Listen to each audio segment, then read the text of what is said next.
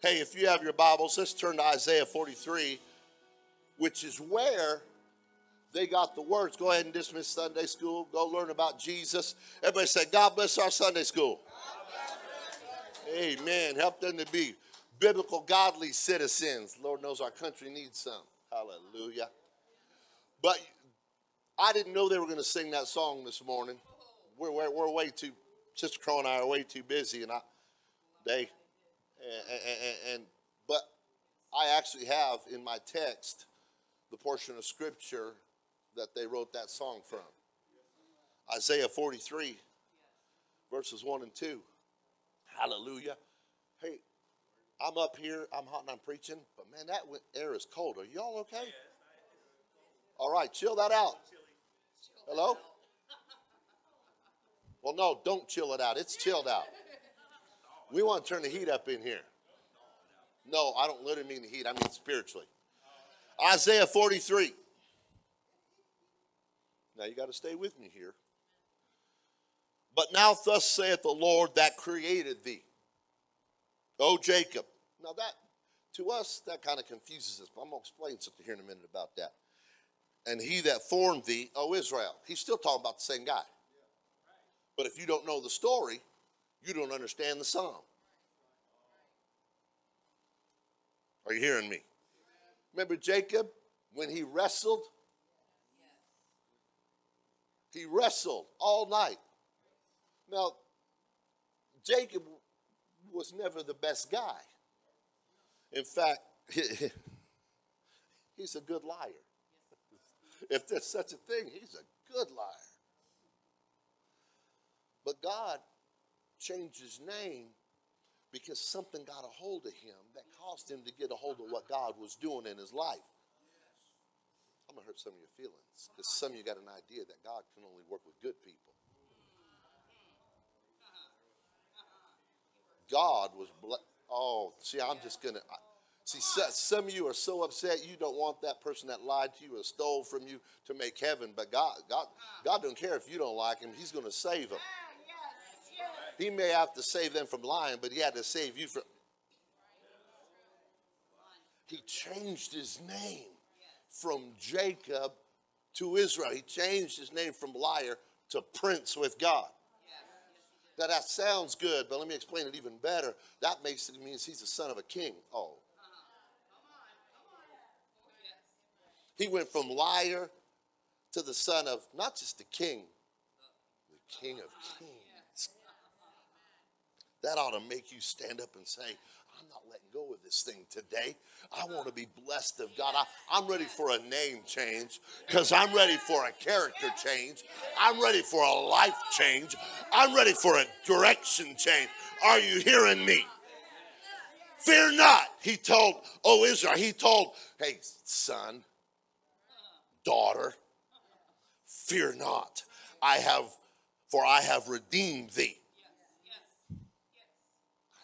ransomed you. Oh, that word redeem literally means ransom to do the part of the next of kin. I don't know. Only our Bible study people I understand. Some of you like, man, what's he talking about? Are you hearing me? He, he, he took a liar and turned him into a prince that's what God does when He takes a sinner and He turns him into a born again saint of God. Mm. Turn to your neighbor and say, I'm a, I'm a son or daughter of the king. Amen. He goes on to say, I have called thee by thy name. Look at this. Thou art mine. Mm. Isn't that awesome? Mine. God's possessive. Oh, Lord. If some of you would see that in your life like you do some of your stuff, see, y'all know Pastor Crow at home, I hide food.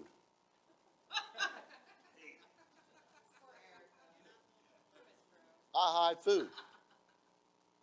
Why? Because if I don't, it's, then is it really mine? No. I know I'm not letting it go to somebody else. I'm making sure. I like how God, how sometimes He's got to take us and hide us in the cleft of the rock uh, or hide us in that secret place. I, I, you don't understand why I like prayer and why I'm thankful for the house because you don't know. I'm His. And He said, He says, You're mine. You need to get a hold of this today. He says, You're mine. He'll never leave you. He'll never forsake you. He's going to change your name from what you were to what he wants you to be. He's going to redeem you. He's going to say, You're mine. I don't understand why people don't want to live for a God like that. Here's, here's where those words that song comes from. When thou passest through, not if. Hmm. When thou passest through the water, I will be with thee. Don't Peter know that a little bit? And through the rivers they shall not overflow thee. When thou, not if, when thou walkest through the fire, thou shalt not be burned. Neither shall the flame kindle upon thee. Oh, hallelujah. Oh, glory. Hallelujah, hallelujah, hallelujah. Amen, amen, amen. I'm going to read another verse in 1 Corinthians chapter 3, verse 13, and then we'll go before the Lord in prayer. Every man's work, everybody's work shall be made manifest, for the day shall declare it because it shall be revealed by fire. Mm. Not if. Shall be. See, in the world, to the sinner, to the lost, Fire's a problem. but in the church, fire's a revealer. I could go so many directions with that, but we're just going to try to stay in this because I don't want to be here till two two o'clock. One o'clock is okay, but two. we got to beat the Baptist, the Shoney's, or the Black Bear, wherever y'all going and the fire shall try every man's work, what sort it is. The ESV says each one's work will become manifest, for the day will disclose it, because it will be revealed by fire. And the fire will test what sort of work each one has done. Let's put our Bibles down. Let's lift our hands, our hearts, our spirits, our voices a spirit of expectation. Jesus, right now, we need you, God. We need to hear from you. We need a, a, a, sure word right now. We need a suddenly word. We need, we need a word right now from you, God, to help us in the time of need. We, we need an interaction, Lord. We, we, we need an encounter with your presence and your power. We've gone, gone through some stuff. We're going through some stuff. We're facing some things right now, God. We need you, oh Lord. We got to have you, God, today. We look for you. We reach for you, God. We believe, we trust, and we rely upon you, Lord. Anoint this house with your presence, your provision, and your power. And everybody said, In Jesus' name. Amen. You can be seated. Oh, let's give the Lord a hand praise. Mm.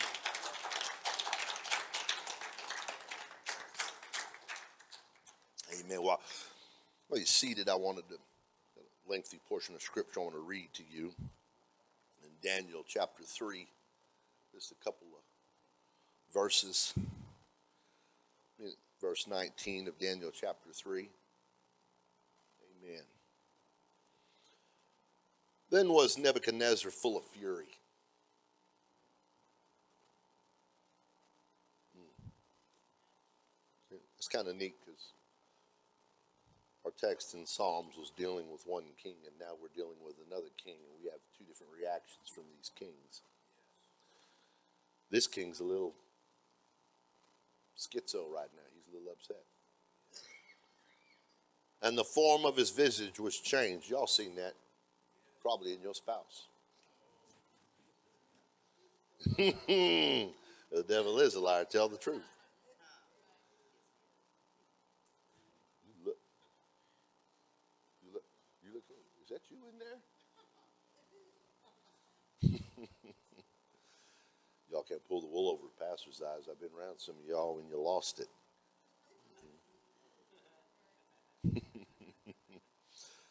Yeah. Was changed against Shadrach, Meshach, and Abednego. Therefore he spake and commanded that they should heat the furnace one seven times more than it was wont to be heated. And he commanded the most mighty men, everybody said the most mighty men. These were the baddest of the bad that were in his army to bind Shadrach, Meshach, and Abednego and cast them into the burning fiery furnace. Then these men were bound in their coats, their hosen, their hats, and their other garments, and were cast into the midst of the burning fiery furnace. Therefore, because the king's commandment was urgent and the furnace exceeding hot, the flame of the fire slew, remember them baddest of the bad? men that took up Shadrach, Meshach, and Abednego. And these three men, Shadrach, Meshach, and Abednego, they fell. They fell. The enemy's still the enemy. See, we, we like to deny ever falling. You know why some of you never get the healing you want? Never be honest. That fact that you got some sickness. You know, no, you, you know why some of you never get anointed like you wanted? Because you try to act like you already are.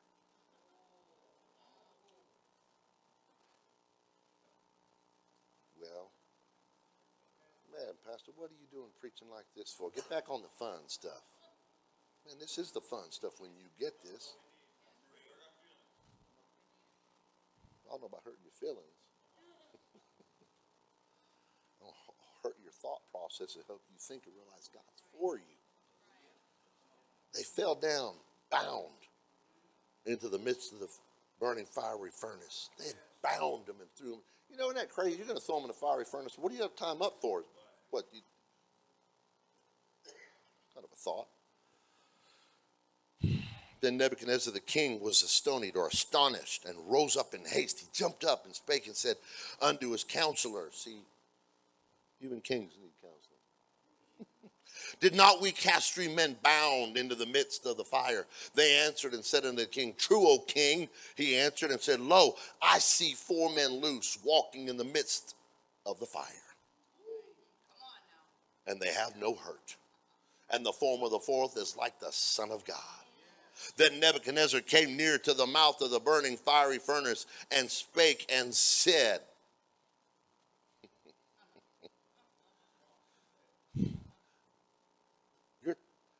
Hey, King, you're talking to people that you just tried to kill. You ever wonder why the devil still talks to you when you're going through it?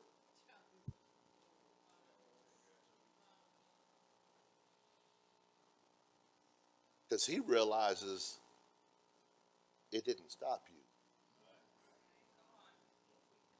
It didn't kill you. The devil's still talking. He's still getting on to you. He's still trying to mess with you. Are you hearing what I'm saying? But I like how he how he addresses them. Ye servants of the most high God, come forth and come thither. Then Shadrach, Meshach, and Abednego came forth. They, they were walking with the King of Kings. Notice he had to ask him to come out.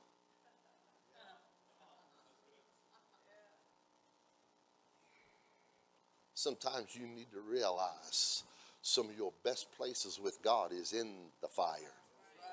Some of your closest walks with Jesus is why you're in the worst time of your life. Sometimes you need to realize that when you're going through your worst, most pressured times, that's when you're walking with Jesus closer than ever before.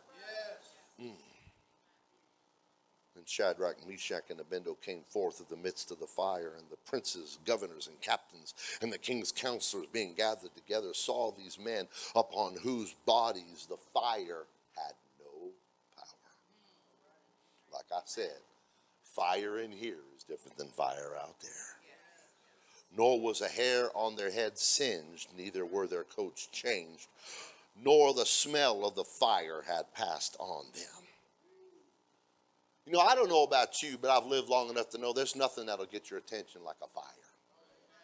As a child, I remember being on a, a school bus heading for school, and a flatbed pickup truck had caught on fire while he was driving, and flames were pouring out of the front of that truck. And all of a sudden, he stopped in the middle of the road, and we're all just like, you know, go, looking at this, and the guy jumps out and he, he's, he's running around trying to do something. Then our, our bus driver, Mr. Brewer, grabbed the fire extinguisher out of the, uh, the bus and ran over and gave it to him.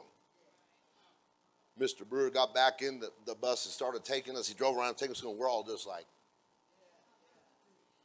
I, I remember as a kid uh, uh, on our farm, we, uh, we had an orchard and we used to be able to our dad would set us up to sit on a picnic table and watch the levees and shoot the ground squirrels that were taking the walnuts. One day I was out there and man, I saw a big old, I saw Peter Rabbit come out. He was fat and sassy. And I said, oh yeah, I'm about to show dad a trophy. I, I, I drew a bead down on him and I fired and I watched him hop away and hop down a hole. I was so upset that he got away. He stole my fire. So I thought, I'll fix him. I ran to one of the little outhouses, the little barns we had there, and I, I grabbed a gas can and some lighter, and I went and I went and poured that gas down that hole. Now I know my little sister probably watching, but I did get away with this one. I I poured the gas down that hole, took it threw a match in there. That fire about blew me back, man. About put me on the other. See, because some people don't know what happened. See, gas isn't just ignitable; it's explosive. It generates you hear what I'm saying? Alcohol just burn, but gas, you know, I, am lucky I didn't just disfigure and remove every bit of hair.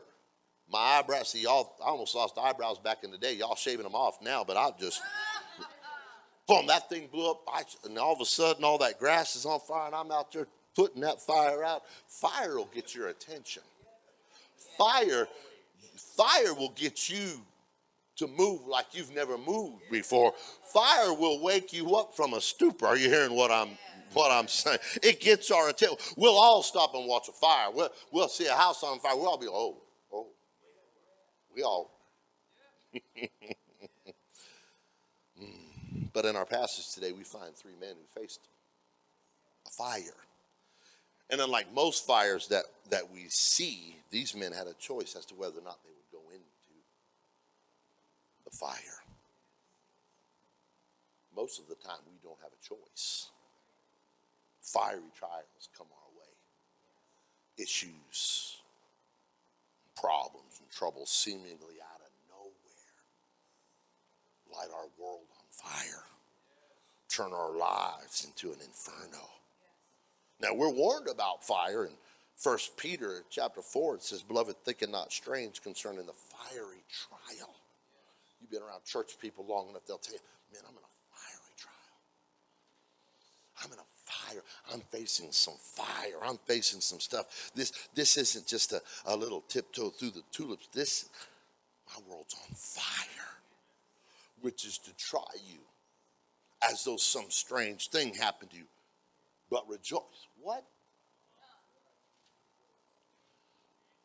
rejoice about a fire? My life looks like it's burning down. You want me to rejoice? I like that laugh, brother. That was a laugh of, been there, done that. Hmm.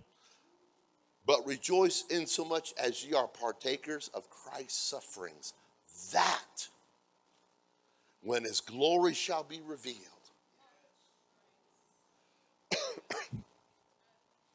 you may, may, be glad also with exceeding joy. See, some of you live through the joy of never going through anything. You got that little anemic Christianity. You just come in, show up, find a seat in the church, and you're not involved in anything else. Your joy is a joy of absence. Whereas people that trust God and allow God to take them through a fire, they get an exceeding joy. You want to know who those people are? Those are the people that are shouting. Those are the people that are dancing and clapping and running. Though they're in the fire, they understand wait a minute, God's doing something in my life right now. I'm being purified, I'm being sanctified, I'm being justified. You can judge me because I'm going through something, or you can judge me realizing God's purifying something. I'm happy about that because he's still with me in the fire. Though I go through the oh, though I go through the fire, I'm not going to be burnt. I'm still going to be here. Oh, y'all don't see. See, see, see. Mm. See, it was their choice. They chose. A fire's not something we normally choose. That's why it's like, well, you know, I really don't want to teach Bible studies or try to witness anymore. I don't want to try to win, I love anybody. Man, there's a conflict, there's fire there. Mm-hmm. So, Scripture, we know, reminds us about those fiery trials when they come our way. Most of the time, they do catch us off guard. Most of the time, we feel very unprepared. But you need to understand something about your enemy. He only fights where he fears. See, see that that's a bully. I remember, I remember as a kid when we, we moved to England and uh, we just brand new in a new neighborhood and and uh, I, I stepped out and I saw this tow-headed blonde kid across the way. So I go to meet his name's Jason and we're hanging out, and he said, and I was fixing to go, and he said, hey, man, hold on. We're all going to play British Bulldog over here in this little green they got. And it was a, a circular park area. Wasn't big, you know, just enough for a bunch of kids to play in. But I was a new kid, so everybody's meeting me, and all of a sudden we're all hanging out, and everything's fun, and all of a sudden everybody just changed. Everybody just changed how they were acting. Oh, man, Paul's coming. Paul's coming. What? And I turn around and it's this big old fat kid. Well, I, I recognized his physical appearance because I knew my physical appearance. You know, I'd be lucky to intimidate a straw. my mom used to say, Man, you look like you got a hanger stuck in your chest. you know the little bumps, right? yeah. Anybody remember when you, you could see them bumps in your? I wish I could see them now, but you know. he used to have stomach muscles too, but you know. So this guy shows up, and who does he make a beeline for? He just comes in and takes over everything that's going on, tells everybody what to do, and all of a sudden he sees me. Oh man! But what does a bully want to do? He wants to make sure you get in line. He wants to, oh no, you're going to be another one of my sons. Isn't that what a trial's trying to do to you? Isn't that what you're, oh no, you're not going to be a worshiper. You're not going to be a believer. The devil wants to stop you from having faith in God. So this guy can, oh no, I'm, you're going to be another one of my neighborhood subjects. And I'm standing there and he starts giving me the what for. And I'm like, no, no, man, I, I, I don't want to die today. So I'm turning around to leave, and my older sister said, What are you doing? I'm going home. She said, You better not, you better fight him. She said it out loud in front of everybody. And I'm like, Man, I'll slap you. We're siblings. We'll fight. I turned around and he got this big old grin on his face, but now, now, there was no retreating with honor. Now they all ain't nothing but embarrassment. It was lose, lose. So here I am with my little retainer. You know, come on. Yeah. You know, I said, I'll be right back. Ran in the house. Because, you know, it's one thing to get the fight. It's another thing for mom and dad to have to pay that retainer bill. You know what I'm saying? Put that thing in that little glass of water I had by the sink, and I went back out there, and everybody used think it was a Super Bowl. I'm like looking around, I'm going to die in front of all these people. Yeah, I'm thinking I'm walking into the gladiator pit, you know, and I ain't going to come out like Russell Crowe. I'm going to die. There's tigers and lions and there's gladiators. I'm fixing to die in this dirt. I didn't go in there all big and bad. I wasn't confident. I was scared to death. I didn't go in there like, yeah, I'm a Jackie Chan, Bruce Lee, this guy. No. now, my dad was military. He had us in karate, but that didn't mean nothing to me, but I knew a Chinese word. That was it, man. You know, I did my katas and stuff like that, but we never had that full contact stuff like they allow you today. You know, I'm there. I knew martial art dancing is what I knew. Dancing wasn't going to help me because this fool's fixing to hurt me. So anyway, we kind of square up in there, and he's got this big smile on his face. And I like to tell you, I knew that I, I went ahead and I ridge hand, or I kicked him, or I front kicked him, or I roundhouse. I don't even know what I did. I closed my eyes and I started swinging, and the next thing you know, someone's arms are grabbing me off that fat fool, and I'm waylaying him. I said all that to sometimes when you're facing some things, you ain't got a plan. You don't know what you, you best just start swinging. You best just start fighting. I, I, this ain't gonna be pretty, but I'm not going down without a scrap. I may go through the fire. I may die, but I'm not going in the fire without fighting. Man, we better get back in the Word of God. Y'all, that, that ain't nothing to shout. I will, I will say this. We lived there a little bit and we moved away. And I remember it was about a year, two years later. My, my physique hadn't changed any. Looked like a clothes, clothes rack, you know. Mm-hmm. I didn't have a chest, brother. I had ribs. I had ribs. I had ribs. I had ribs. I, I remember I'm walking up some friends. We're going to a dance because you know what? Y'all said, no. I can't see Brother Crow dancing. I don't care.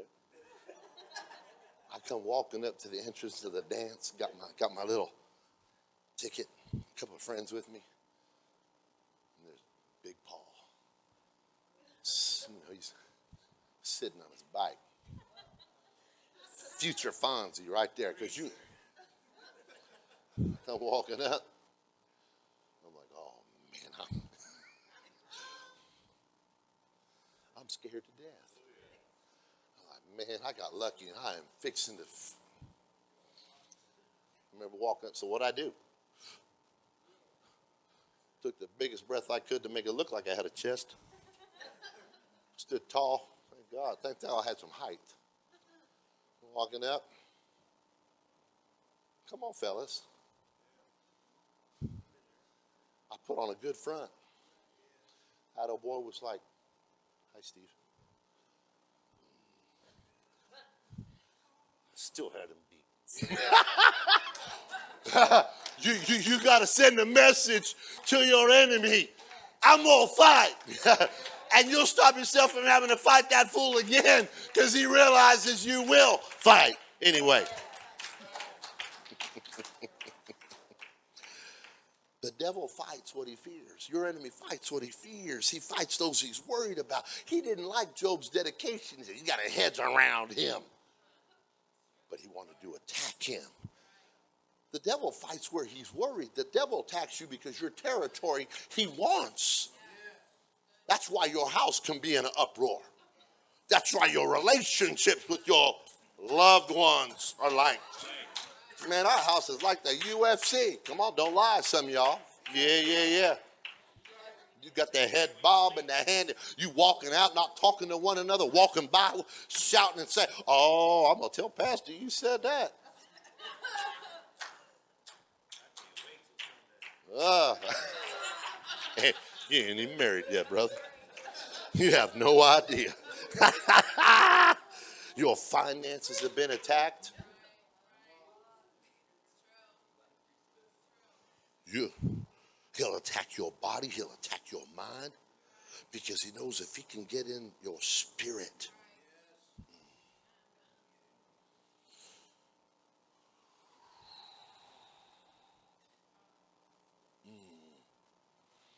He's afraid of you. He wants to put you in the fire because he's worried if you ever catch on fire. He's afraid that if you get it like John the Baptist prophesied.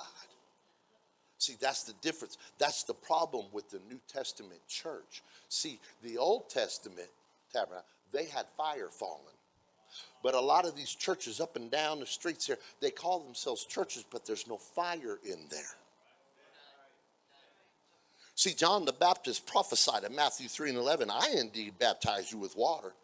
See, he even explained it, but those, those jokers in, in Acts 19 kind of missed it and had to get rebaptized because they didn't know whether they'd be in the Holy Ghost. But John the Baptist said, I indeed baptize you with water unto repentance, but he that cometh after me is mightier than I, whose shoes I'm not worthy to bear. He shall baptize you with the Holy Ghost and fire. Hallelujah. And with fire. And with fire. You got the Holy Ghost. Oh, how do how, how do firemen defeat fire? They get ahead of it and burn it, light a fire, and let the fire meet the other fire, and that fire wins. It puts it out. You want to defeat the fire in your life? Get on fire. The devil knows he can't handle you on fire. The devil knows he can't handle you when you're committed to the things of God. The enemy knows I can't have that territory if it's on fire. So he wants you complacent. He wants you comfortable. He wants you content because then he's got you beat. He don't care that you come in here and sit all cutesy and all nice. Mm-hmm. He's worried because if you ever prayed like you know how to pray, he's in trouble. There's no one that can pray like you, that'll shout like you. There's no one that can worship like you used to worship. There's no one that will glorify God like you used to glorify God. So he wants you sitting there looking all pretty and more worried about the people around you think than what God's doing. Well, there ought to be something about every one of us that realizes, you know what? God's worthy of my. God's worthy. I don't care what I'm going through. I want to be on fire in my worship. I want to be on fire on my commitment. There's something. We ought to all right now say, you know what? God, I'm committed. I'm on fire. I'll stir up myself, that gift that was in me. I'm going to get on fire. The devil can't handle me, can't handle us when we get on fire. The devil don't want to mess with you when you get real with this thing.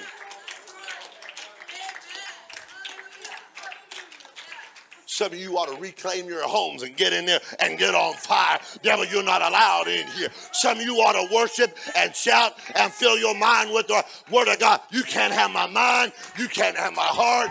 You can't have my family. You can't have my life. You can't have me. I'm his. He says, I'm his.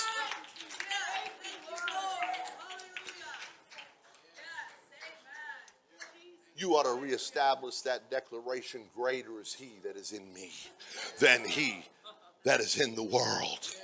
Hallelujah. Hallelujah. It's still true.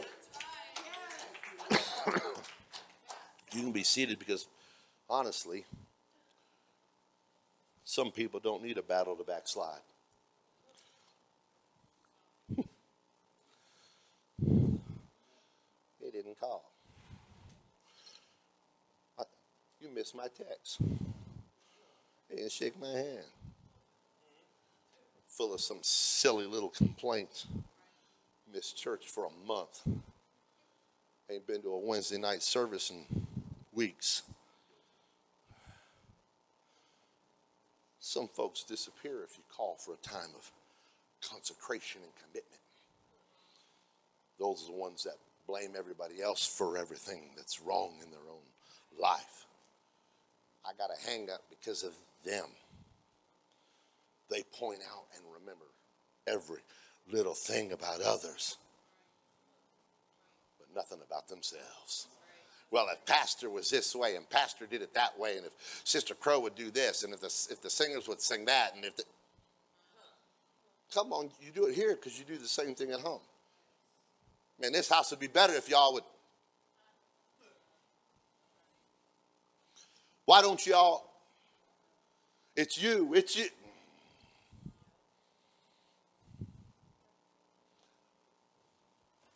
Look, I, I can't talk about overcoming if we don't be honest about needing to overcome some things. Mm. Let me tell you something. If your problem is other people, you've lied to yourself. I can tell you right now where you can find your biggest problem. It's in your bathroom. It's that great big old mirror. Oh, yeah. And it's going to point to directly the greatest problem in your walk with God is you. Don't blame pastor. Don't blame your job. Don't blame busyness Why? Why you don't have a prayer life, where you're not reading your Bible, Why you're running around doing all these other things, but not the things of God. Not too long ago, someone came to me. I'm going to get back back to what I've been called to be. I've been back, and man, they ain't hardly been to what, what three or four services since they said it. Man, I can't believe he just said that out loud. You said it out loud. What, you want me? I'm not playing with your soul. You are. Oh, God. I say that because then there are some people. That's why I miss Sister Davenport right now. Because you know what? Some of y'all miss over the silliest. My eye hurts. I got a headache. Sister, brother, Sister Davenport. I have to count when they miss because I can't count when they're here. It's too much. And yet here they are. I tell you, she is sick today because I, I, have confidence in that because she don't regularly met. But there's some of you, man, I, I don't even look for you. It's when you're here like, wow, they're here because that's the paradigm you created. And trust me, if I see it, he sees, God sees, there's nothing hid from him. So if I realize the deficiency, where do you think you stand with the things of God? So I'm thankful right now for those people that no matter what they go through, no matter what you do to them, no matter what, they're unfazed. I'm going to be in church. In fact, I'm not just going to be in church, I'm going to be worshiping. They're going through hell and high water. They're still singing, they're still preaching, they're still praying, they're still on fire. I thank God for those that no matter what kind of torment and trouble, they still got their testimony. Oh, and all those people ought to shout right now. You ought to walk around ready for the fight. You ought to be right there, always ready with worship, always ready to praise and sing and to shout. Why? Because I got to walk with God. And so the enemy will always regret every time he messes with folks like that. Oh, God, I wish I never would have touched them. My God, now they're worshiping, now they're shouting, now they're teaching Sunday school, now they're teaching Bible studies. The more afflicted they got, the more anointed they became. the more problems I put on them, the more powerful they became. Oh, y'all missing how God does this. I'm talking about those folks that walk around on fire. You ever notice when you walk around on fire, you offend those that are not? Oh, yeah. You want to draw the ire of the carnal? Talk about God.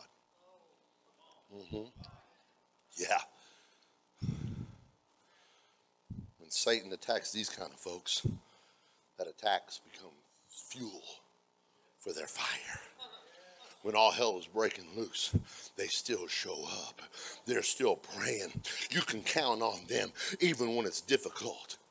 And the more you afflict them, the more they multiply. We got any folks like that in here today? We got anyone in here like that? Hallelujah. That you understand. If it had not been for the affliction, I wouldn't be anointed. Uh, I'm going to say something. I thank God for my affliction. I thank God for the trouble. It gave me my testimony. I thank God for the affliction. It got me anointed. It caused me to rise up.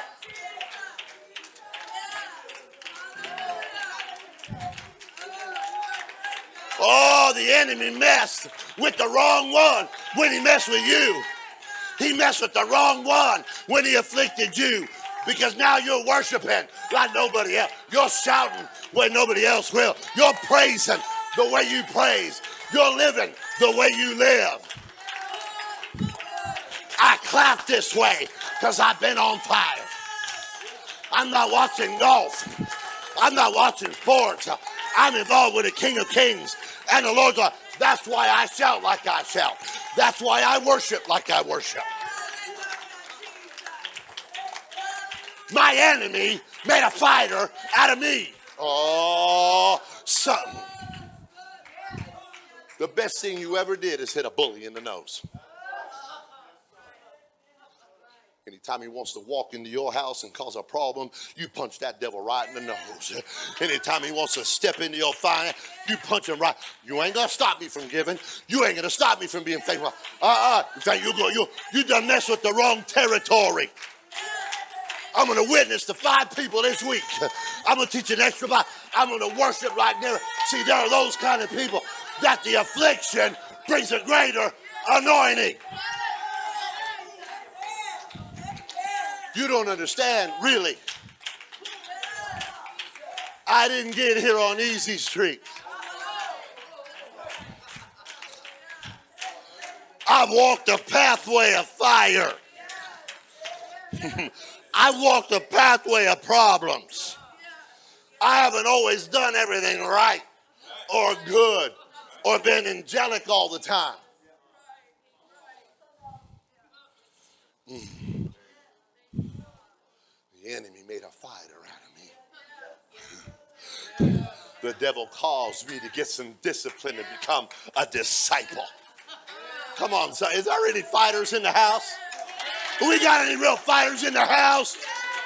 We got any real people that are ready to fight?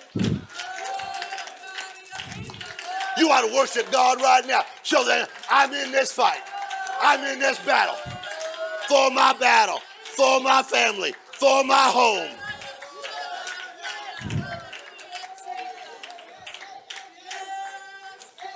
Let me say it like this.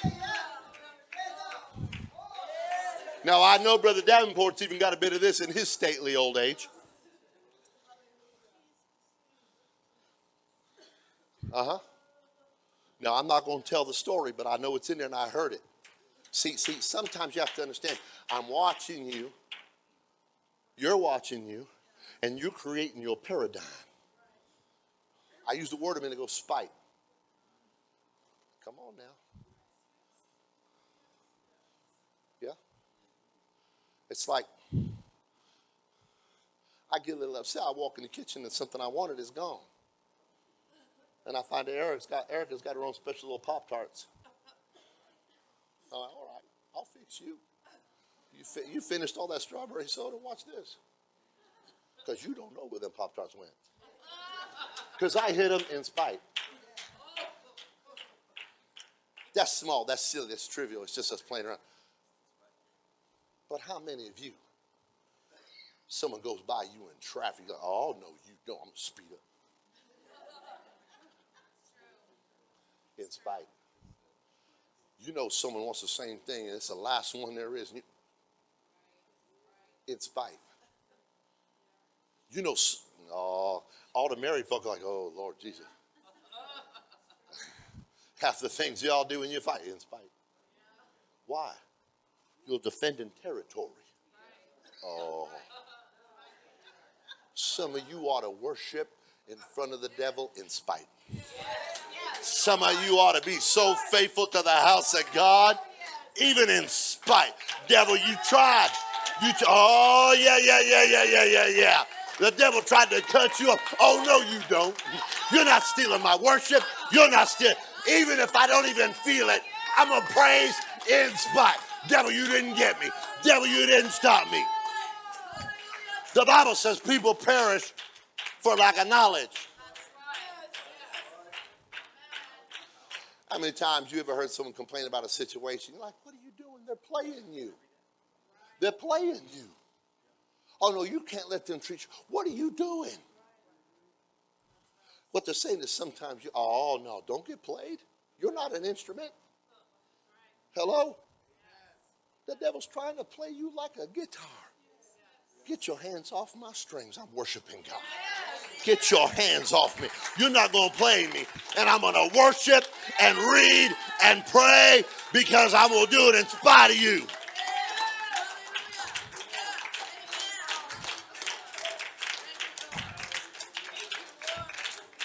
Listen, be seated. I got a long way to go. Y'all acting like I'm, I'm not finishing early. Y'all just need to hold on.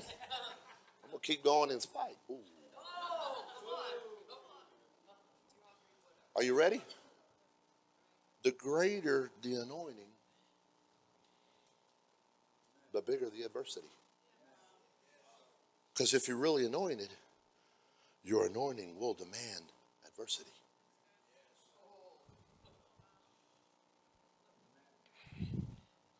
If you're really anointed, see, I'll be honest with you, and, and I, I, I, say this in all love, and I understand there's the up and downs and vicissitudes of life.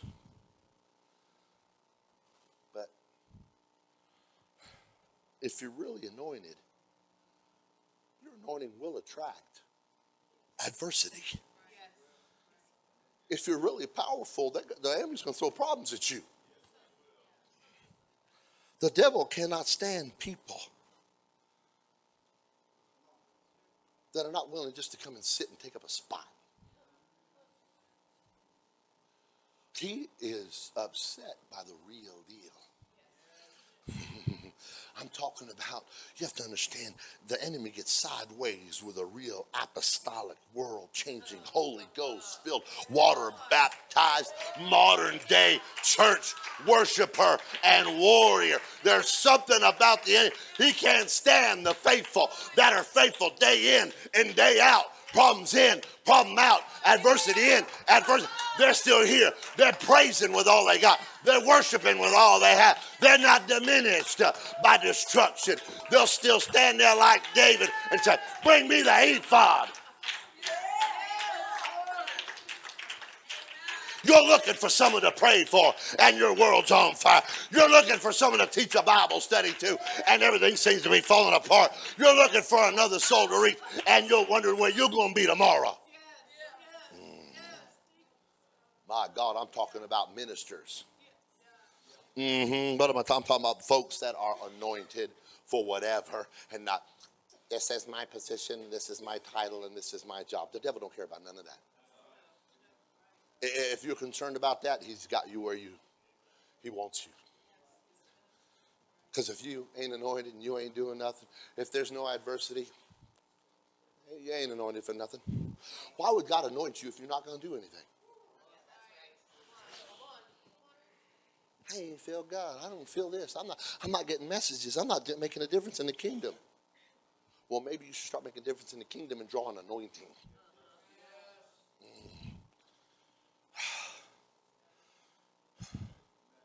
Anointing demands afflictions and adversity.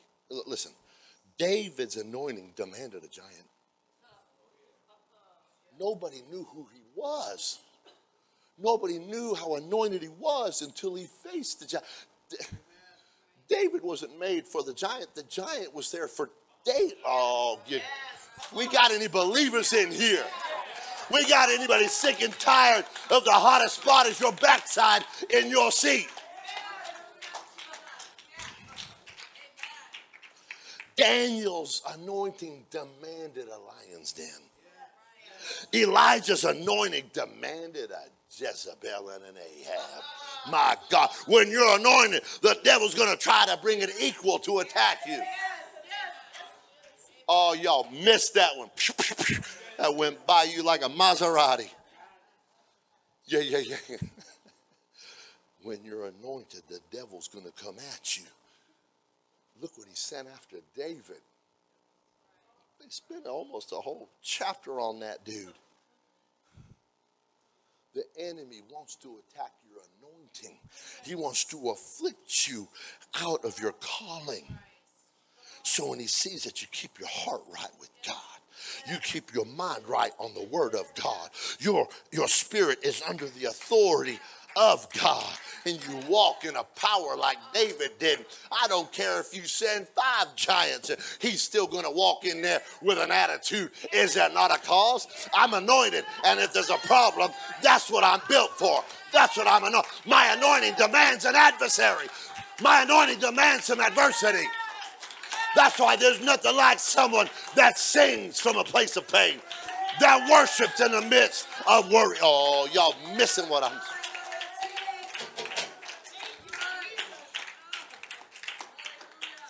See, see, you can't come in here and demand respect because of your longevity.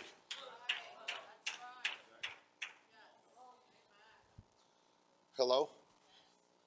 Ain't no one talking about who won last year's Super Bowl. Kind of like, what have you done for me lately? Kind of. Oh. oh my God. You will walk in power over the enemy always, always fighting and resisting him and every attack that comes. If you're not anointed, he, anointed he's not going to attack. Abraham's anointed demanded a mountain and an only son. Paul and Silas's anointing demanded a prison. Peter's anointing demanded a storm. Oh Lord. Your anointing demands and I, are you going through something? Good, that means you're anointed. You got some problems and you're here. Good, you've been, a, you ought to thank God. I'm anointed for this. Oh, I see. you know, if a legion of devils is inside one man, how powerful that man used to be.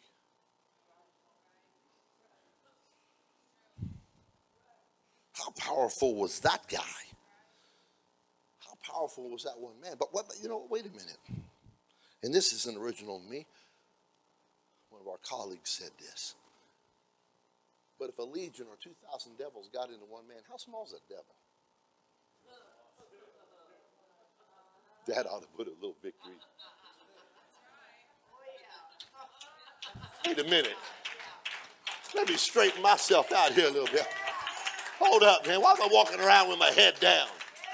What am I, what am I walking around all the time? Wait a minute. You can put 2,000 jokers in one. Oh, man, you are, you mess with the, you, you're a Paul to my Stephen. You'll fix it to get dropped. Don't come into my territory. Oh, don't stand in front of me. I'm going to mow you down and keep on going. And if I ever see you again, I'm just going to look at you.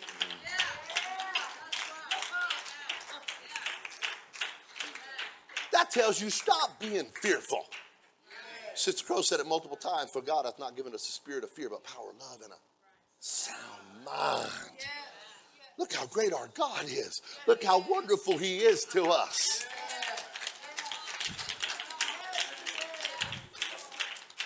See, God is so great, the devil wants to get you to magnify everything that's wrong.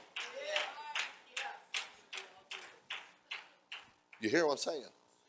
Now, I don't want to hurt nobody's feelings. There's some of you, when I walk up to you, I say, Praise the Lord, give you a fist bump and keep walking. Actually, I do that to everybody because I got stuff going on. But there's some people, I don't say, How are you doing? Because I'm about to get an encyclopedia of problems.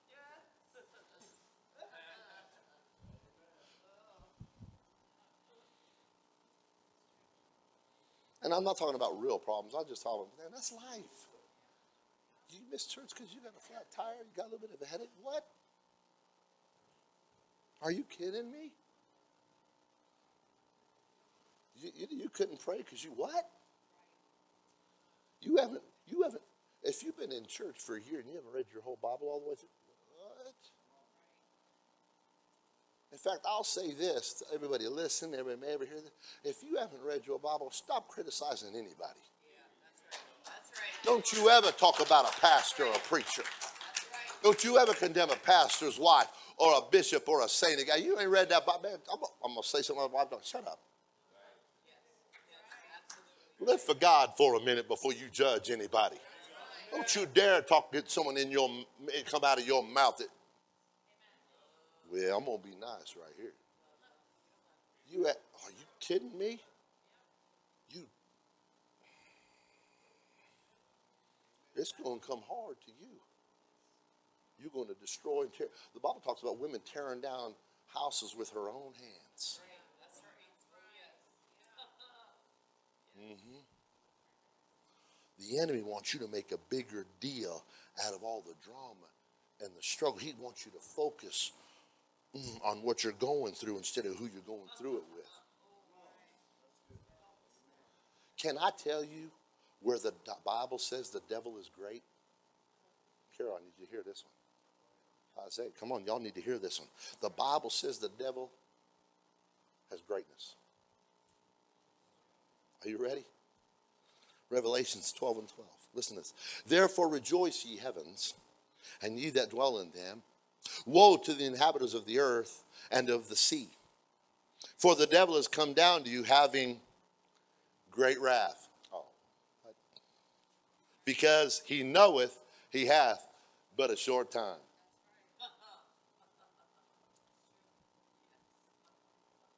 Now you remember we can fit 2,000 devils in one person. So forgive my analogy here, but you ever been around them little chihuahua dogs?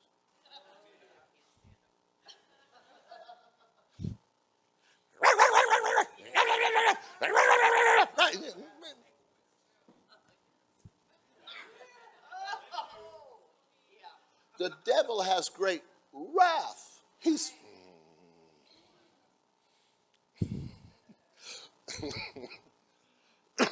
know what that word wrath means translated? Passion. It literally means as if breathing hard. The dude's out of breath. He's passionate but he's out of breath. And if you're out of breath, you're this close to passing out because you know you got but a short time. Because basically, can I say, all the devil got against you is harsh language and accusations. You're going to be defeated by harsh language and accusation. Oh, he is the accuser of the brethren. Hmm. What am I saying? So instead of magnifying what the devil is saying, magnifying the wrath or the passion of your enemy. Do what David said and magnify the Lord with me and let us exalt his name to, oh man, I, I got three saved people in the house right now.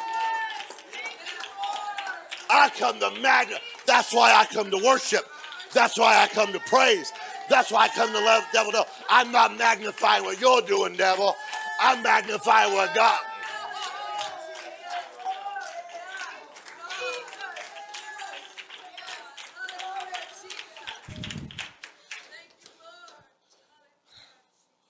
See, when David said that, he was had changed his behavior.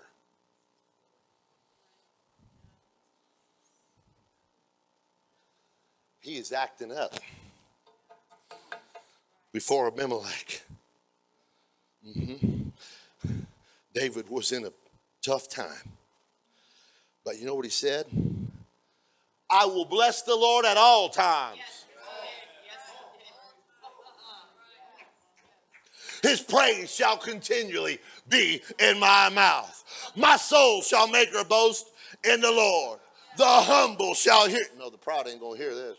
The humble shall hear thereof and be glad. You want to know if you're humble in here? You're glad about what I'm preaching. You're glad about people worshiping. You're excited about people shouting. You're good with people running and shouting and dancing and getting excited about the things of God. Oh, yeah, hear what I'm saying. Oh, magnify the Lord with me. David, you're on to something. He goes and includes there. Let us exalt his name together. I sought the Lord and he. If you're constantly magnifying the devil, you can't be seeking the Lord. Mm. And delivered me, listen to this, from all my fears. Oh, wait a minute. He didn't say problems. Why? Because the wrath of the devil is not a problem, it's only a fear, because all he can do is use harsh language and passion.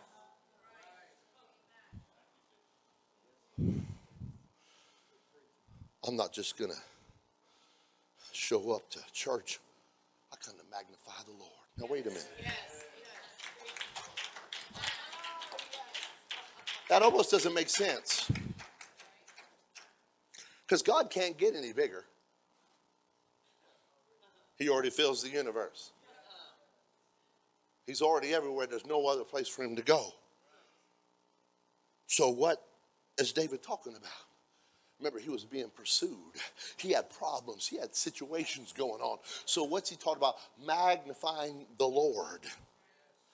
He was saying, I need to magnify him so he fills me up and pushes out all my worry, pushes out all my anxiety, pushes out all my fear. Hey, I, I'm too full of the Holy Ghost and fire. I'm going through problems, but the problem just met its match because greater is He that's in me than He that's in the world. That's why I worship and praise and magnify and shout. And I'm faithful because I know greater is He that's in me. Oh, magnify the Lord with me. Let's magnify Him. Let's worship right now. I'm not making him bigger out there. I'm making him bigger in here. Oh, somebody give the Lord a praise right now. If you, and if you know what I'm preaching, give the Lord a shout right now.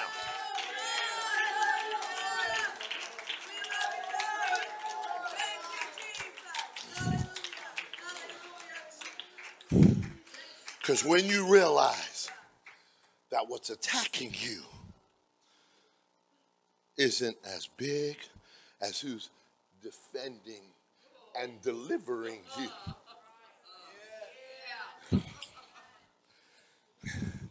When we moved across town in England, we left Cherry Road and went over to Round Hill Road. Parents bought a house over there. I started coming of age. Girls started getting involved. And I was kind of an anomaly. Now, the guys hated me. But you're as an American, you was something different than them, all them jokers. Man, he's an American. So I drew some attention. Skinny rail and all.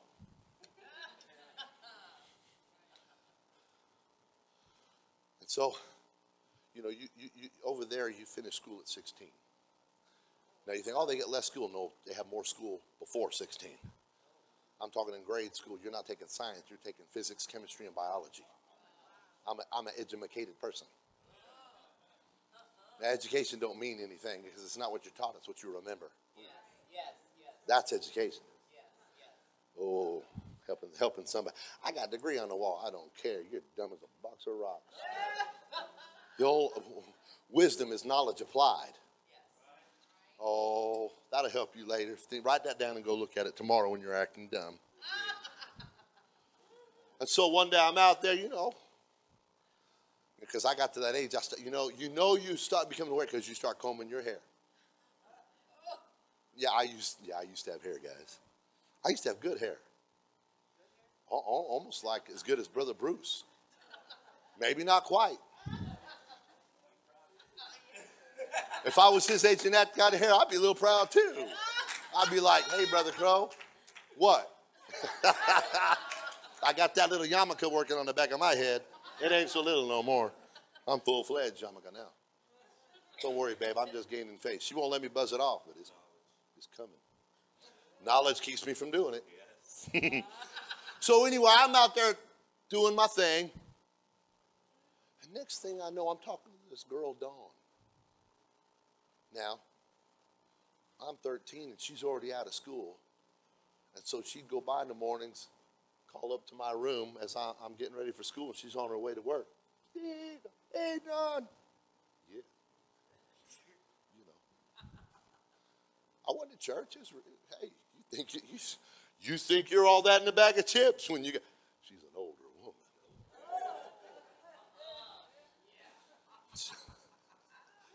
It's all good when you're that age, but when you get well, we won't go there today. Come on, amen. gentlemen. So anyway, anybody met, anybody know? Now, see, in England they had the real ones. You know what a skinhead is? A mod. A mod. They had. It was the dumbest thing. They wore a target on their back. That wouldn't be good today, but anyway. His name was Bill. He was a big old bomber jacket, steel toed AirWair boot wearing dude. And here I am, I'm about the size of a straw. But I'm pulling him in. You know what I'm saying? And Bill didn't like that because I was taking territory. Now, the benefit of being a straw, now I was athletic, don't get me wrong. I ran for my school. I was doing martial arts. I played soccer on a team, okay? Which benefited me. Because that big old boy could not catch me. now, Paul, I thought, but Bill made me run. Y'all think that ain't Bible, but you just said it fine. The Bible says, flee youthful lusts. that boy gonna kill me. Man, I could run around the block before that dude could get even half of one. But I could pick him up and put him down. I was so fast back that back then, I'd race people on bikes and win. Now my, my knockety rickety old knees can't hardly get me across the church, but I did used to be able to run.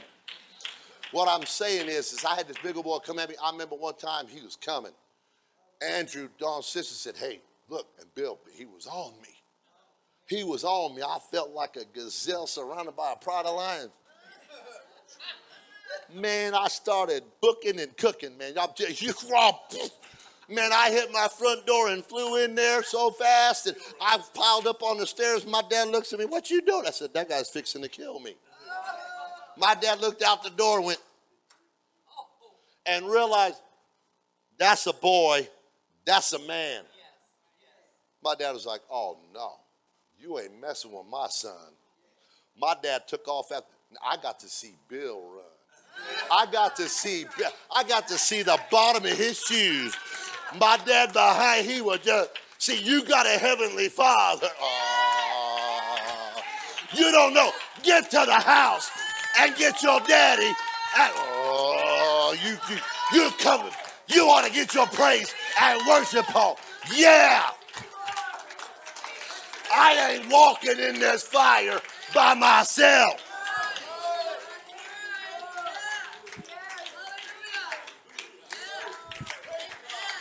You should have seen me behind my dad. Yeah, yeah, boy. Right. I was bad now. I wasn't afraid now because all of a sudden my daddy was between my problem and me. Oh, yeah, you run now, boy. I had a big mouth there. See, you ought to get a big mouth in here. Devil, you can't touch me. I, I got a daddy. You can't touch me. He says, I'm here. He, God, that's mine. You ain't touching mine. Get your hands off mine. I'll be with you through the flood. I'll be with you in the fire. Sit down. I got to wrap this Bible study up, man. We, I, man, it, it's quarter to lunch, and I'm not done. The Bible said that the heat of the fiery furnace seven times hotter. Why did they do that? Simply because three people stood their ground. Because three people said, We're not bowing. Because people said, You know what? I'm not swayed by watching others falter. If I got to come in and sit on the front row by myself while others backslide, okay, I'm. Mm, I'm not afraid of what they're saying, the music they're playing, or what they're doing out there. I'm not deterred by a decree. I'm not worried about the problem. Those three guys said, Nope. Nope. As for me and my house, we're going we're the Lord. We're going to be at we're to be at the church. Mm-hmm. Everyone around us might be compromising and backsliding and becoming cold and lukewarm. Not me. I'm going to get on fire. Ah, hallelujah. You can compromise, but I'm not. Do I got any I'm in the house? Those are going to stand for what's right. Going to get behind the pastor. Going to get behind the church. Going to be involved. We ain't missing. We're going to be involved. I'm going to get right in there despite what others do, despite what my neighbors do, despite what they say. Even if my own family bows and quits, you're going to find me at church. Been there, done it, proved it. Let me just say this to some of you young people. You need to make up your mind. like these guys. You do not have to do what them foolish kids are doing out there. I don't care, and it don't matter what your friends are doing. You got to get something inside you. I believe God's getting ready to use you. You don't have to be a statistic. You don't have to fall in all that mess. You don't have to. You don't have to get out there giving yourself to a bunch of fools that don't even know what being a man is. Look,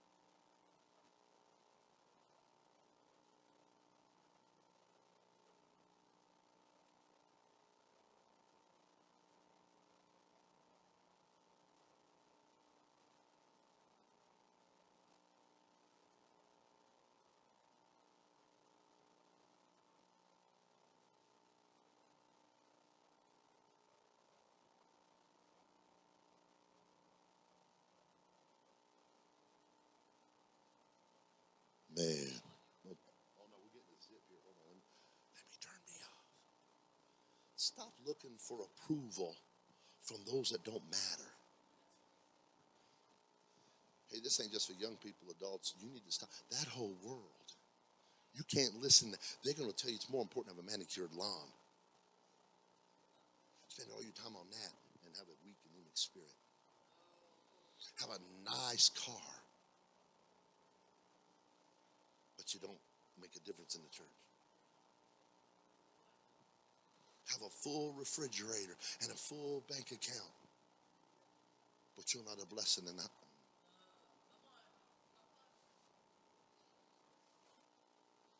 Stop worrying about keeping up with the Joneses and making sure you're walking with Jesus. Be who God called you to be. You ought to be in prayer. Who am I to be today? Not this is what I'm going to do. God, God, how can God call you to something higher when you're always chasing after something lower? Because when you're looking for other people's approval, you make them your God. When you're looking for people to be excited about what you're driving or what you own or what you've achieved, you're making their, your, them your God. If you get your little rooster up because, man, people know, yeah, I'm successful. You make them your God, there's nothing more empowering than getting to that place. I care nothing about anybody's applause but the applause of one. I'm going to let you know right here and right now. I could give a rip what you think of me. I'm not doing this for you. I'm not coming here for you. I'm not coming here to please you. I'm coming here to magnify God, to exalt Him, to praise Him. Ah, despite what you want, uh, you can look down on me if you dare, criticize me, ridicule me. I'm not here for you. I'm here for God.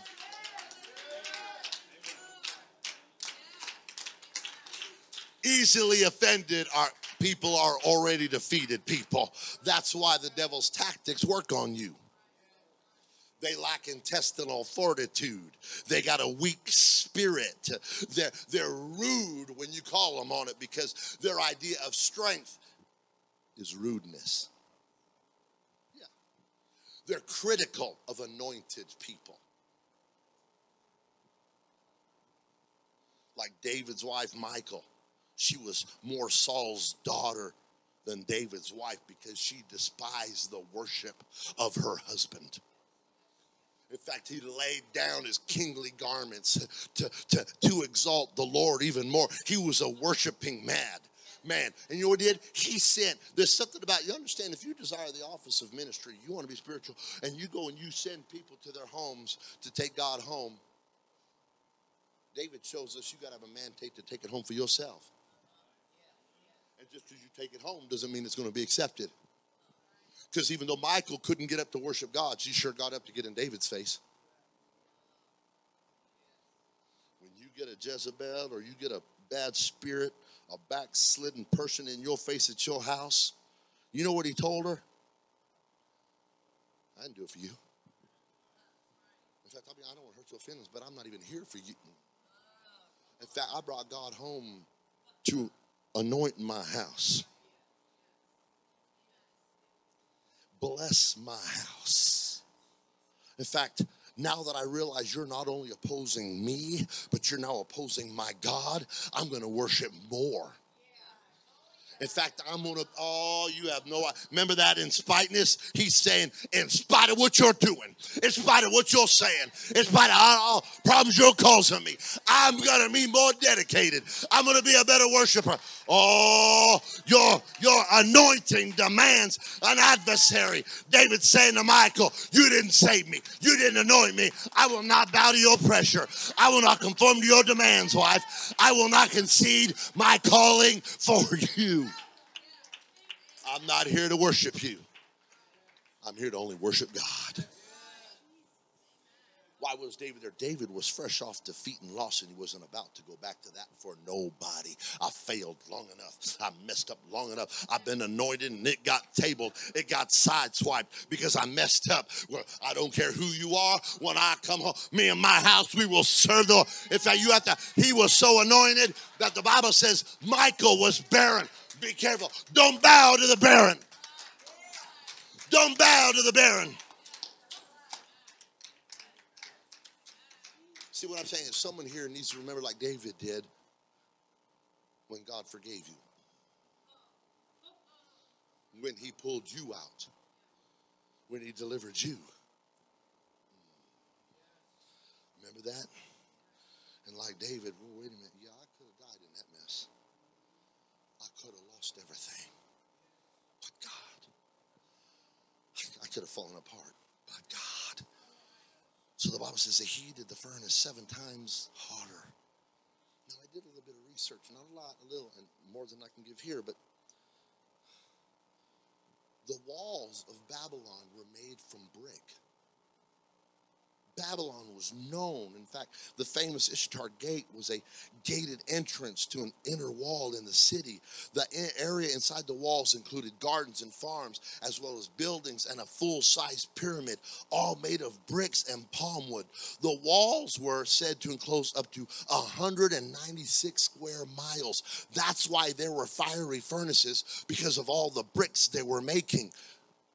In fact, to this day, they're still using some of those bricks to build. But what's interesting about those bricks is every one of them at least got the name of Nebuchadnezzar on them.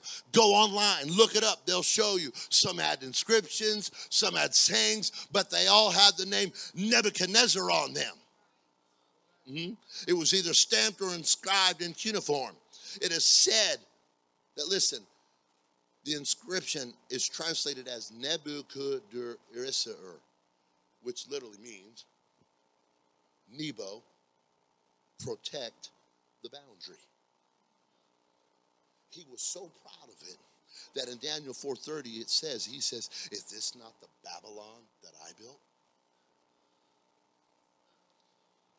Modern research says that Nebuchadnezzar was the greatest monarch that Babylon or the East had ever produced. He he had enormous command over everybody in his province. Is this not? So those furnaces were used for curing bricks. And now he says, You're going to heat this one seven times hotter because we're not cooking bricks, we're cooking folks. Why? Because when you're a Meshach, when you're a Shadrach, Abednego. The enemy's going to turn the heat up a little bit. Now, I'm going to say something you're not expecting to say. You need to stop complaining that you have it harder than other folks.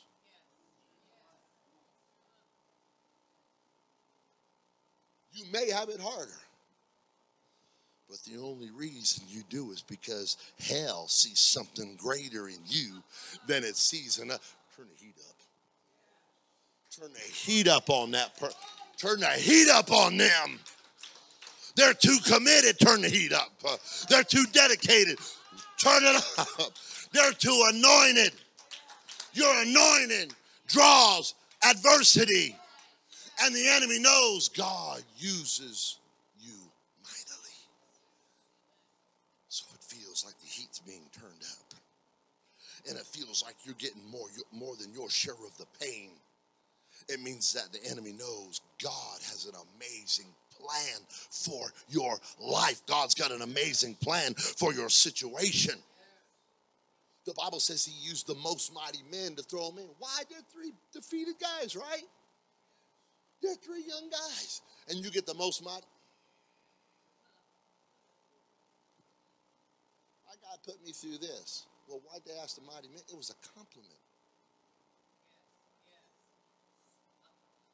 See, I laugh at you guys, young guys walking around here flexing your biceps. That's a compliment when you try to show off. Because if I didn't matter, you wouldn't want to show me. Because you know you ain't got it like Brother Crow did. Or had. I'm, I'm on a comeback. Think about that for a minute. The most mighty man. Who Who's afraid of who here? Mm. When you have a mindset that you got to tie these guys up and use the most mighty men, imagine this the mightiest men, those usually guarding the king or those important foot shoulders. King's like, hey, wait a minute. You mighty fellers over there, come here. No, not you common soldiers, not you stud muffins. I want the mighty men. I want the cream of the crop. I want to buy. That's a compliment. Mm-hmm. That, that's that that's a oh that's a platform. It spoke more about those three Hebrews than the squad of the most mighty. Mm. What's this teach us? The greater the attack, the greater the compliment from hell the greater the enemy, the greater the fear the enemy has of you. Oh. See, I want to say this. Some of you need to see how the enemy sees you. You need to see you and recognize you how he does. See, some of us only hear what the enemy has to say because his passion and great wrath, and not what he says about us. I only got a short time. And they're bad to the bone. Remember Gideon, mighty man of valor? He was so afraid. He said, Wait a minute. So, you know what he did? I need you to hear what they're talking, saying about you. If you'd only hear what the enemy's saying about you. If you only could hear instead of sitting here and worrying, and you could hear what the enemy's saying about you, he's worried that you get back to your calling, that you get back to that place of anointing. He's so worried. He's so you're you're worried about him, and he's scared to death of you. Michal was scared to death that the king, the anointed king, was coming back home, and she wanted to stop him. You ain't getting a foothold. I'm ruling this house. And he walked in and said, Get beside me. Uh huh. Bible says in Judges that he sent them down, and in Judges 7 11 it says, And afterward, then thou shalt hear what they say, the enemy. So he sent him down there, and he went there with Purah his servant and said at Gideon 7, 13, 14, and Gideon has, was come. Behold, there was a man that told a dream unto his fellow and said, Behold, I dreamed a dream. They're dreaming about you. Not like that, but they're dreaming. Unto his fellow and said, Behold, I dreamed a dream. And lo, this is hilarious. Lo, a cake of barley bread tumble. You know it's a nightmare when you're dreaming about cupcakes. Come on, man. Yeah. bread tumbled into the host of Midian and came unto a tent and smote it and fell. You got cupcakes dropping tents. I, I, want, you know, the Bible's right, but I, that's not a dream. That's a nightmare when you got cupcakes destroying your life. See, you may think of yourself as a cupcake going to battle, but they don't. You know what I'm saying? They know your cupcake's bigger than anything. Uh, and it fell and overturned it that the tent lay along. And his fellow answered and said, This is nothing else Say, see, they're dreaming about cupcakes, but they, this is the sword of Gideon, the son of Joash, a man of Israel. For into his hand hath God delivered Midian and all the host. They were having nightmares about you. The enemy's having nightmares. He's tormented. He's full of wrath because he's got a short time and he's getting dropped by cupcakes. He's getting dropped by dessert food. All that you could hear the enemy's fears about you when you're worshiping in the house of God, when you're faithful in the house of God, when you're determined and committed. You need to understand something. When you're living for God, you're the enemy's worst nightmare.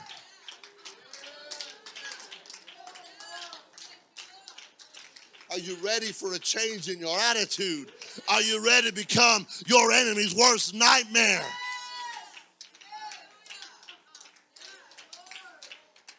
So they bound them, cast, threw them into the burning fiery furnace, and it was so hot that the most mighty men died. Psalms kind of backs up my thought today. Before I was afflicted, Psalms 119, 67, I went astray. I about just need pastor to walk up and get my grill and afflict me with some truth so I can get my mind and heart and life right. I need pastor to preach it, preach my nightmare. so I'll keep the word. Affliction will reignite your need for the anointing. Casual Christianity destroys a calling. Comfort will defeat your anointing. What am I saying? There's no denying how hot the furnace was. It was as hot as hell as they could create on earth. Sometimes you need to be surrounded by all kinds of hell to remind you of the heaven that's in you. Greater is he that is in me than he that is in the world. Oh, you know. When Nebuchadnezzar looked into the furnace, he's like, one, two, three, four. He's like, wait a minute, guys. Didn't we throw four in, three in there? Wait a minute, counselors. Help me with my arithmetic. I'm not the sharpest knife in the drawer, but I'm having trouble with my addition. One, two, three, four. Now, I'm not sure, but if I had witnessed that, and I was the one who ordered those guys thrown in there, I might be looking for an exit. Wait. Because that extra guy didn't look like any other man. Nebuchadnezzar said it himself. Uh, wait a minute. Hold on, that, that other one looks different. Now, the Bible never says the three Hebrew boys knew who the fourth man in the fire was. It never says that they even saw the fourth man. But it sure lets us know the enemy saw. If only you could see you and how your enemy sees you. They ain't walking alone. They're not by themselves. They're in the fire and they're walking with the Son of God. They're walking, oh my God. There's something about these guys. This is why the enemy understands the church, folk, the saint of God, better than you and I do. We don't always see what's helping us. We think in the middle of our battle when everything's falling apart, we feel alone. We feel like I'm going through this alone. Uh, what am I going to do in this situation? How's this going to get fixed? And the enemy's sitting back there. I hope they don't. I hope they don't see and realize that even in this fire, They ain't by themselves. We don't always see what's helping us, but the enemy does. The enemy knows right well who's walking with us, talking with us, defending us, delivering us, going through uh, with us in the fire. Nebuchadnezzar said, I see four men loose and walking. Wait a minute ago, they were bound. Now they're loose. They were bound and down. Now they're loose and walking the fire, the heat, the plan to kill them and destroy them, God used to free them. Stop complaining about that trial that God's using to free you. Oh, you ought to give God a praise for that. Instead of ending them, it set them free. It was supposed to harm and hurt, but it set them free.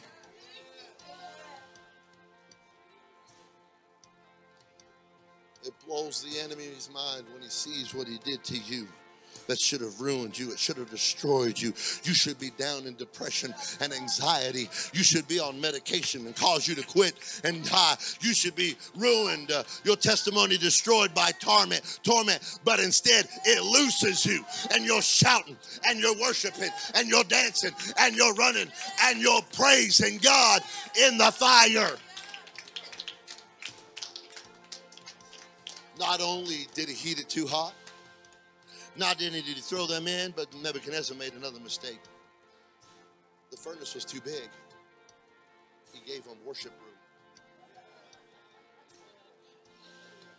They got up. They were walking around.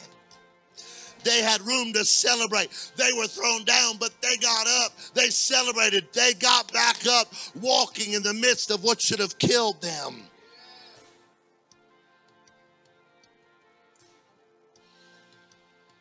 I know there's enemies after you and I. And we've been through some stuff. But look around the room. You're back up and you're walking. Yeah, yeah, yeah. Yeah, yeah they, they, they said you wouldn't survive. But you're here. They're declaring that it's over for you, but you're here. The enemy wanted to see you fall. They want to see you hurt. They want to see you destroyed. But they're watching you walk around with your Savior in the fire. They wanted you to fail. They wanted you to fall. They wanted to watch you burn. But instead, they're watching you walking, celebrating in the fire. I got one last point to make.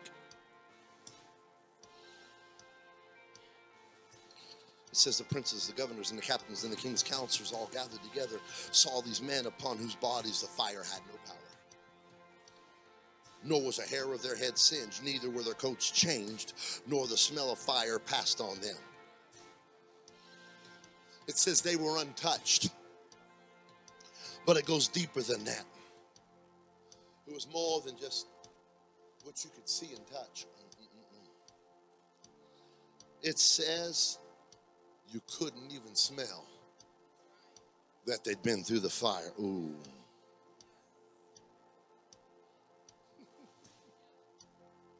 You know why? Because there's always those smoke detecting folks in the church.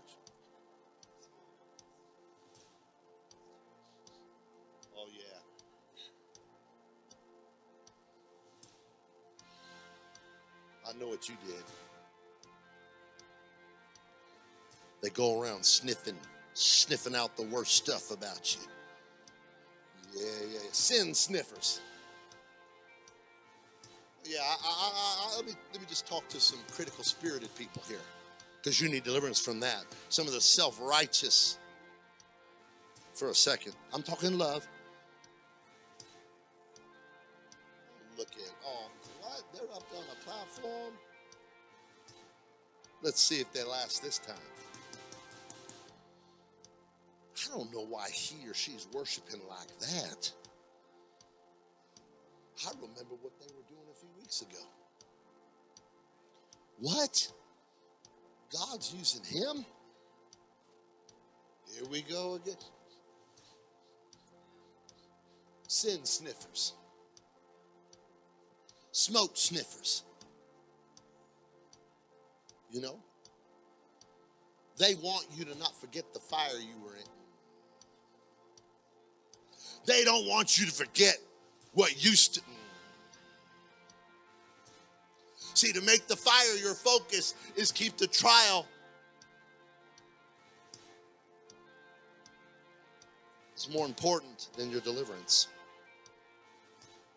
I got news for you. When God delivers you, when God delivers someone, not only will they not look, because the Bible says their hair and their co- nothing changed. They won't look like they've been through the furnace of trials. Uh, or you can try to dig up their past and stiff around all you want to, but who the Son has set free is free indeed. See, see, you don't understand. Let me bring this to a close. We have a testimony that everybody knows about.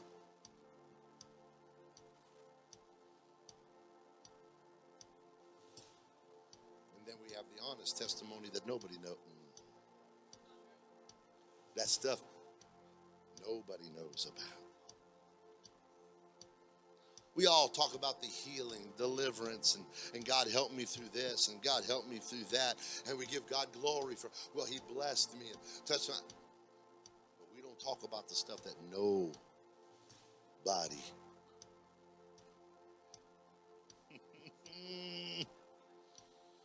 you know, not the testimony stuff, but the stuff we were ashamed of, stuff that we were bound by.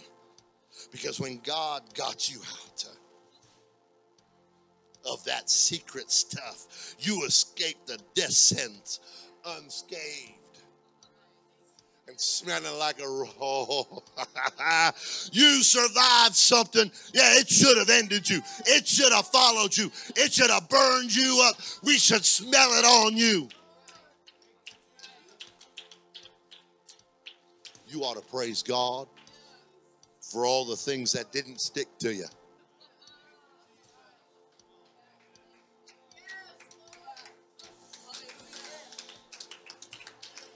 You ought to give him glory for all the stuff you survive ain't nobody know about. There's not a, oh, you need to get real in here and stand to your feet because he bailed you out and nobody knows about. Give God thanks because the devil can't sniff out what you did. There's a critical lady in the church, and she walked up to the pastor and said, God's been talking to me about you. Cool. So he said, I tell you what, the next time God talks to you about me, call me.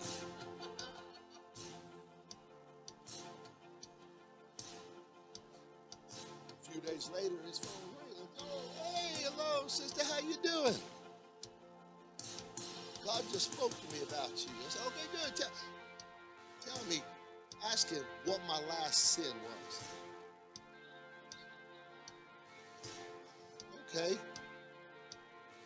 Well, what did he say? Pastor, he said, I don't remember.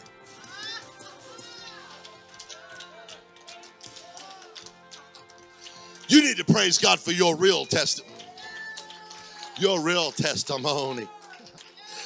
Not the stuff you can tell folks about, but the stuff your spouse don't even know about. Uh, that stuff your family don't know about. Oh yeah, when you acted a fool, like, oh God, Jesus, get, get me out of this one. You ought to shout this place down over what didn't stick to you. All that junk no one knows about. See, because people that make it out of the fire don't care what other people think. Yeah, I don't care what you think. I'm here to worship God. I don't care if you think I'm a good pastor or not. I don't give a flying rip. In fact, I'll tell you, don't come to me what you know about other people. Sin sniffer.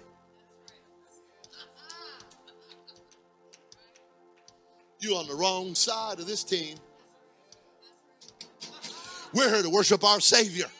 We're here to worship the one that we can go through the fire and not even smell like what we've been through. You ought to give God praise. You ought to you ought to shout this house down on what didn't stick to you. Where the real folks at? Where the real, real redeemed people at? Yeah, yeah, yeah. You know, you know, you shouldn't. You shouldn't even have survived it. Never mind, not smell.